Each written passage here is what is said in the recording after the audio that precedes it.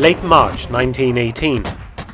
The First World War has been dragging on for nearly four years, with millions dead. But the German army suddenly manages to pull off the seemingly impossible, launching a last massive offensive on the Western Front.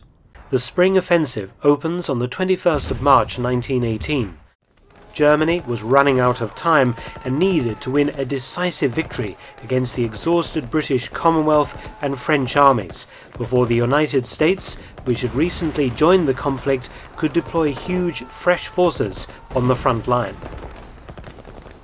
Using the new concept of stormtroopers, Operation Michael was the main attack, designed to pierce the front lines and outflank the British and defeat them an event that would have brought the French to the negotiating table. Though some headway was made, logistical difficulties and determined Allied defences slowed the offensive,